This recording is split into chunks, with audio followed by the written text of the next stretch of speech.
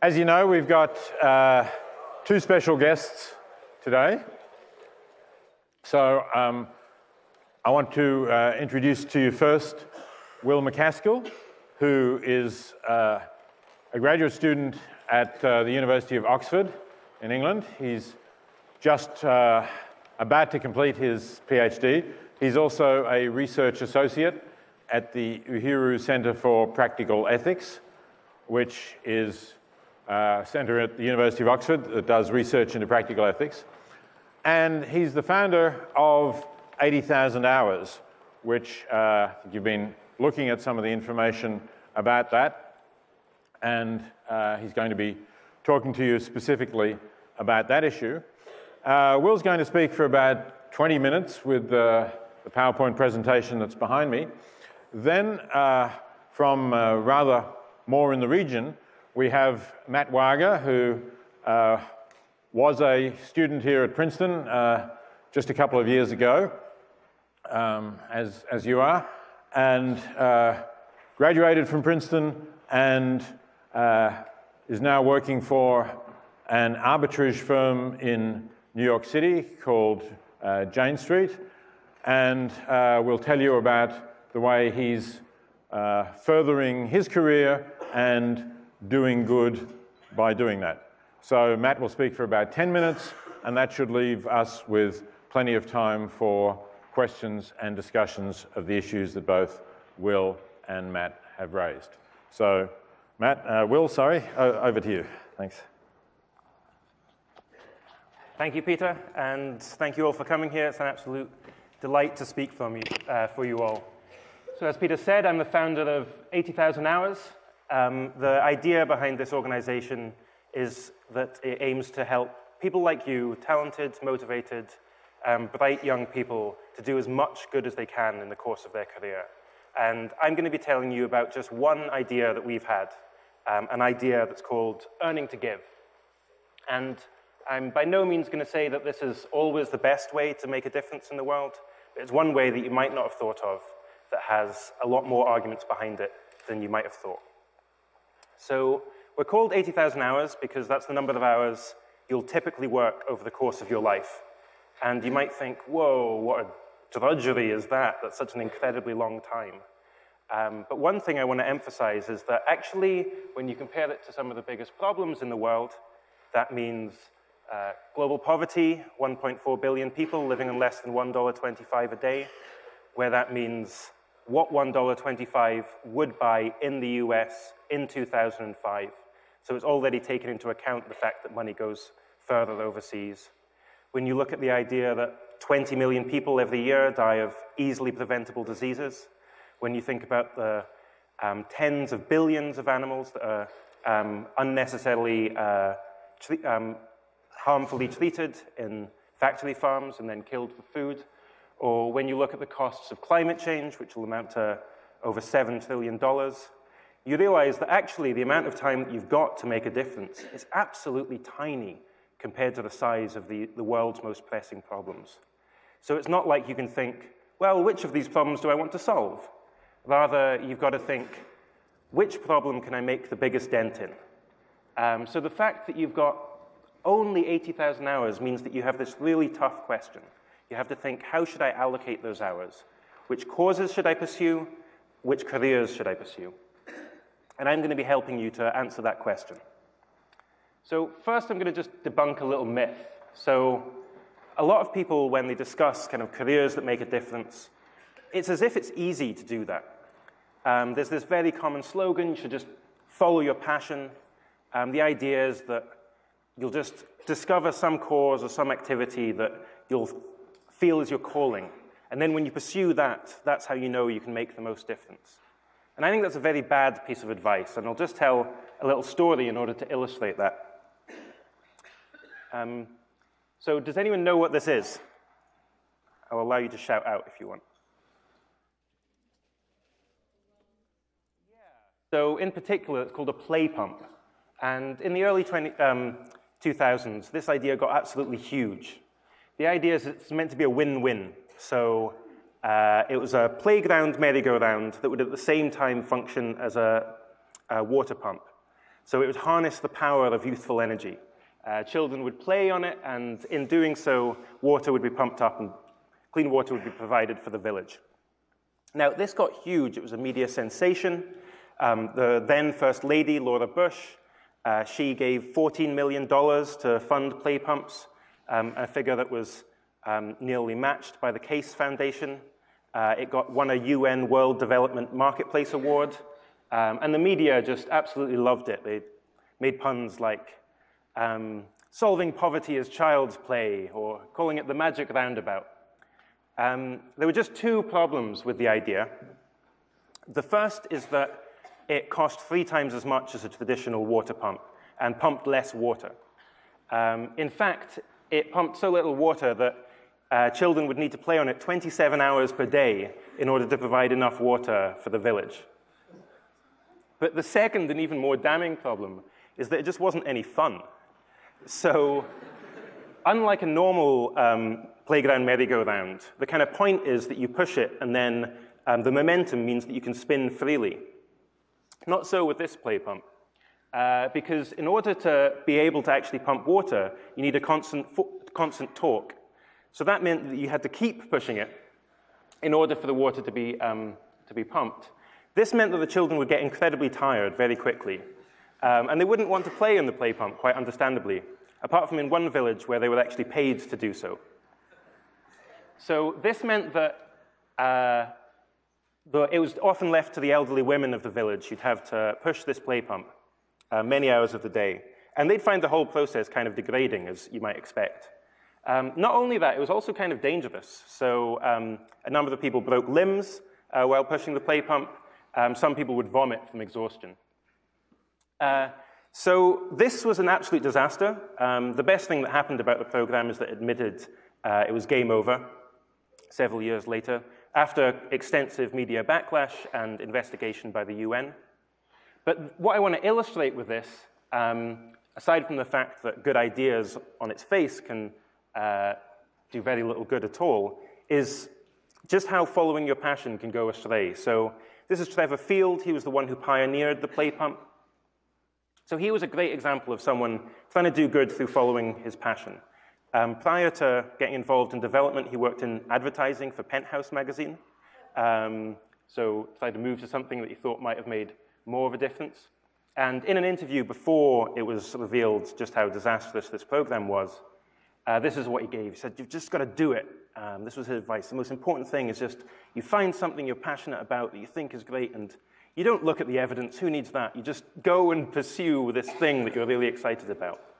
And this is the sort of reasoning that I really want to caution against. It's incredibly difficult to know how to do good in the world. And so I'm going to answer, and answer this question you know, by being a bit of a geek, by doing your homework. Um, how much good can you really do over the course of your career if you really try? Okay, I'm going to give uh, three main points, just three concepts for you to take away with and try to apply to your own career decisions.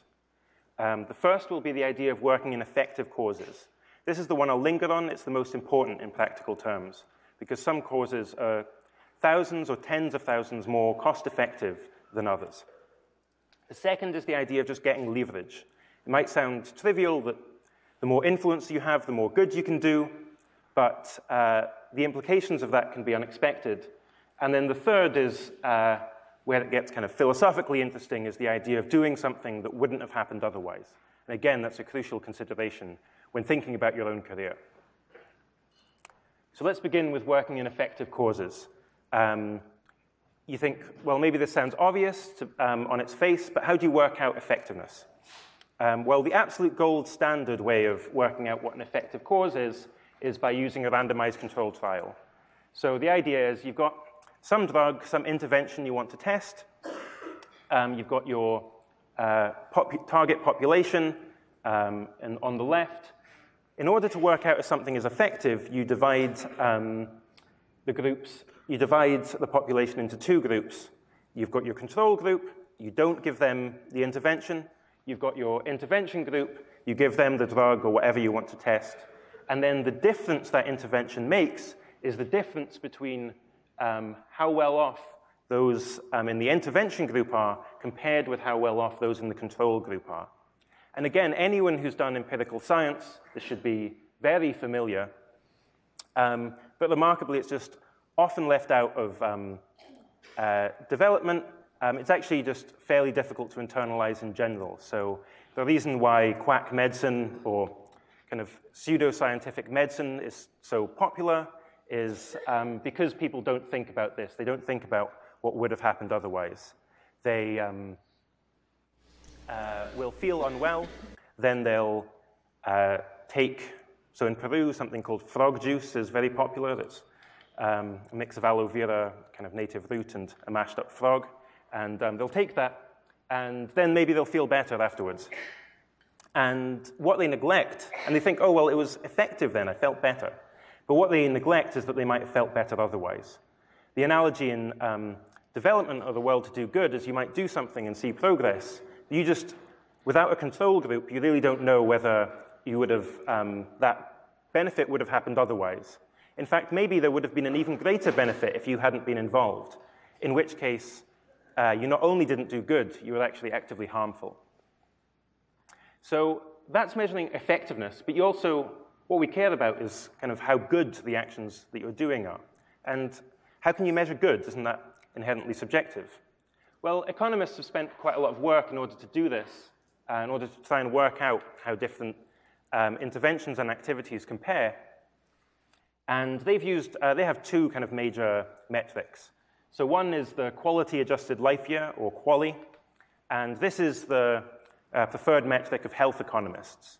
So the idea is there's two ways I can give you a health benefit.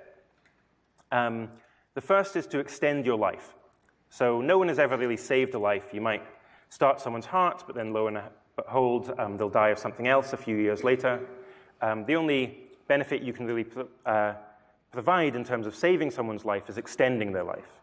And in general, the more you can extend someone's life by, the better. Um, if I saved you out of the path of a bus and pushed you in front of a train, extending, saving your life, but extending your life by only a few minutes, that wouldn't have been much of a benefit. But if I pull you out the path of a bus and allow you to live another 30 years, um, that would be a substantial benefit. So one component of this metric is the idea of giving people additional years of life. Um, so if their life is already good, then extending that life um, by a certain number of years is a benefit. Uh, the second aspect that it incorporates is the idea of making someone's life better off while they are alive. So if you cure, um, treat someone who has a problem with migraines, for example, as a doctor, you won't have made their life um, any longer. Uh, migraines aren't going to shorten someone's life, but you have made their life better off while they're alive, and that's a good thing as well. And what the QALY metric does is use um, extensive survey data in order to work out how the people you're trying to help make trade offs between having a longer life and having a higher quality of life while they're alive. And then it uses those trade offs um, in order to um, have this kind of one unified metric of a quality adjusted life year, uh, where the idea is the more quality adjusted life years you can give to a population, the better. Um, and so using this, you can compare really quite different interventions. So for example, if you distribute long-lasting insecticide-treated bed nets in the developing world, um, this is in order to prevent uh, children from getting malaria. Then you'll give one quality adjusted life year that's one year of very high quality health. Um, you'll be able to provide that for just $50. In contrast, if you provide, train and provide guide dogs, um, guide dogs are very expensive, cost about $70,000. Um, um, the amount you're spending in order to give someone the equivalent of one year of very high quality health um, but this case by improving the quality of their life, is much less than $50,000 per quality adjusted life year. So in terms of the benefits, in terms of benefits of human health and well-being, the difference between bed nets and guide dogs is the difference between um, uh, saving providing one quality adjusted life year and providing 10,000. So the difference in impact is a factor of 10,000. Now, you can't use quality adjusted life years to compare everything. They're kind of the gold standard, and when you have randomized controlled trials, that's amazing. But it's not always um, possible. And economists quite often retreat to the idea of benefit cost analysis. So this is the idea of simply um, looking at how much money is spent on a certain intervention and how much money does that generate. So micronutrients, for example, most uh, malnutrition in the developing world isn't due to a lack of calories, it's due to a lack of vitamins, of micronutrients. And uh, if you um, provide um, supplementation of vitamin A, zinc, uh, and um, iron, then uh, every dollar you uh, spend on this program will generate about $40 in increased income uh, for the people who you're helping. So it's a very cost-effective intervention. Okay, so this is the idea of cost-effectiveness. Um, the most important things that you can measure this, and that some activities are thousands of times more cost-effective than others. Second big idea is the idea of leverage. So this should sound kind of trivial, but it's very important which is just simply if you have more power over the world, more resources that you can influence, then um, you, can do, you can use those resources to do more good. Um, this can be unintuitive. So, a friend of mine uh, worked at the World Bank for about five years, and he was as a grant maker within the World Bank. He was deciding which programs got funded and which didn't. Within the World Bank, this isn't thought of as the sexiest position. Um, it's somewhere towards an admin role, and he could have got something much kind of more reputable or um, higher status. Uh, but in the course of this um, position, he was able to uh, move about $500 million to causes that he thought were doing 10 times as much good um, with that money. So by taking this position where it maybe wasn't as high status, but had a huge influence over the resources that were being spent, um, he was able to move absolutely massive amount of money to causes that were more effective. The third idea is doing something that wouldn't have happened otherwise.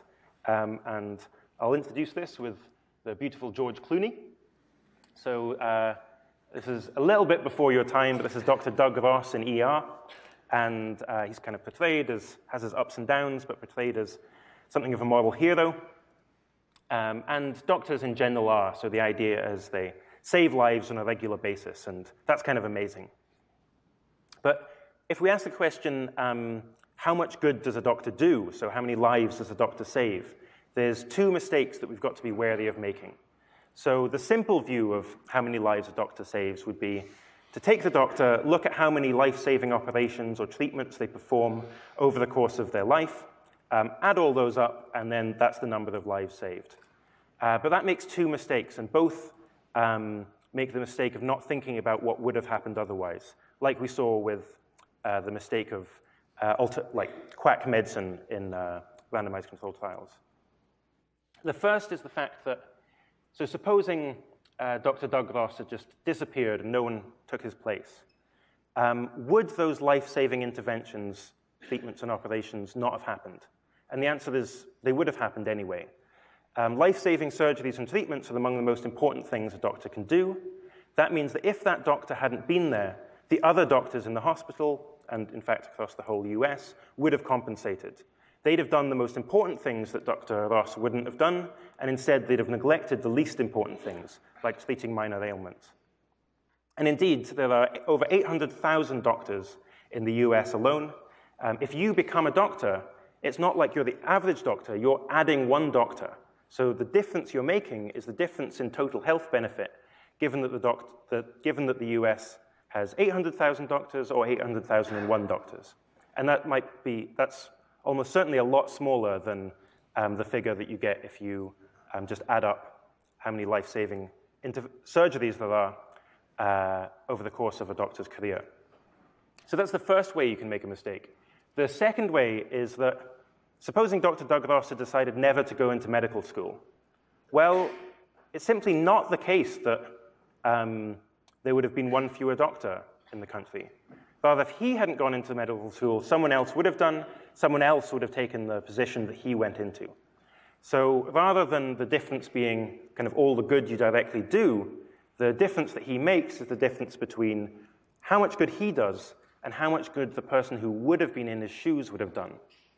So supposing he was saving 10 lives every week or performing 10 life-saving surgeries, if the person in his shoes had been, let's say, a lot worse than him and only saved nine lives every week, then the difference he makes, um, the number of lives that are saved as a result of him, is only one life saved per week, it's not 10. And so, taking into account this fact that you've got to look at what would have happened otherwise can often make um, the difference you make much less than you might think.